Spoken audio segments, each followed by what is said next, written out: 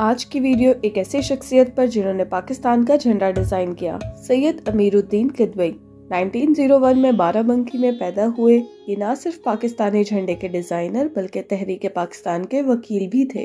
इन्होंने अपना खानदानी पेशा अपनाया, क्योंकि इनके वालिद और दादा भी वकील थे।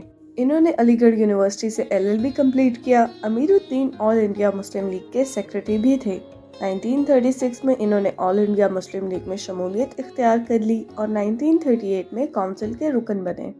क्या में पाकिस्तान का जब फैसला हुआ तो कौमी परचम की अशद ज़रूरत थी। बहुत से डिज़ाइन कायद अजम मोहम्मद अली जना की खिदमत में पेश किए गए, जिनमें से कायद अजम को सैयद अमीरुद्दीन किदवई का डिज़ाइन सबसे ज़्यादा पसंद आया।